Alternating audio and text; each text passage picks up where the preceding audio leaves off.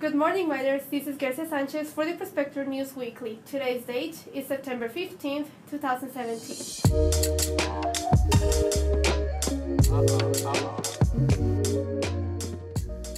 The Student Engagement and Leadership Center will host an El Grito ceremony in honor of Mexico's independence.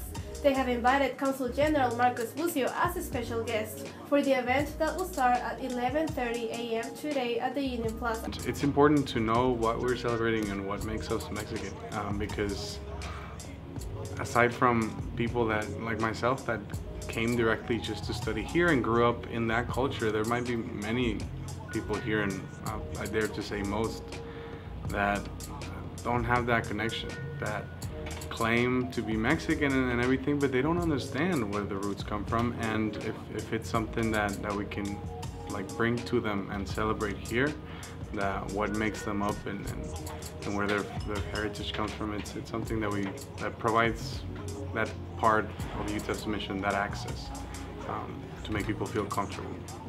The ceremony will be followed by a luncheon at noon, where the SOP community will be offering traditional Mexican food plates for $8. Also for next week, the Department of Biological Sciences and the Border Biomedical Research Center present a symposium featuring border biomedical research. This is an opportunity for the research community to discuss ideas, advance new research, or even review recent discoveries on topics of great importance to the public health in the region, such as diabetes, cancer, and infection diseases we have our own uh, speakers from here from the biology department that also are show, showcasing cutting edge research. And the other uh, uh, topics that we are touching here in the in the symposium is uh, neuroscience uh, metabolic diseases um, community engagement and health disparities uh, also, we have a special part that is for uh, clinical approaches in the border region that we are bringing two MDs from this region that are going to talk to us about how things are going with the patients here in El Paso.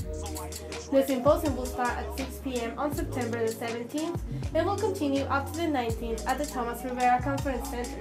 To view the complete list of activities, you can go to the website on the sidebar.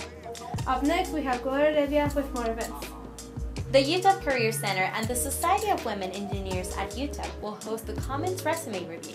This is the opportunity for any student interested in learning from the experts. Upcoming representatives will be given advice on what to modify on resumes and prepare them for their future careers. The Resume Review will be held at 8 a.m. and at 3.30 p.m. on Tuesday, September 19 at the Engineering Building and also hosted by the UTEP Career Center, the first Career Expo of the semester will take place next week to help students take the next step in finding information about organizations, exchanging resumes for employment opportunities, or even landing a job at the largest job fair held in the UTEP campus each year. So obviously students, you know, they're here to pursuing their degree and I know that many of them are looking for opportunities to kind of reaffirm like, do I really want to go into this field? Is this something something that I'm really passionate about. So doing an internship really allows them to kind of apply what they learned in school into like the real world. So internships are a great way for students to, to kind of get that validation. The fair will take place from 9 a.m. to 2 p.m. at the Don Haskins Center on Thursday, September 21st and Friday, September the 22nd. Remember to complete your registration process by signing into JobMine. Coming next, we have Mike Flores with sports. For the first time in 40 years, the two old-time rivals, UTEP and Arizona, will battle tonight at 8 p.m. at the Sun Bowl for Military Night. One of UTEP's glaring weaknesses is their rushing defense, and that's exactly what Arizona thrives in, as they have averaged 329 rushing yards in just two games this season. UTEP at 0-2 are 20-point underdogs going into the matchup against the 1-1 Wildcats. The football game will be aired on ESPN tonight.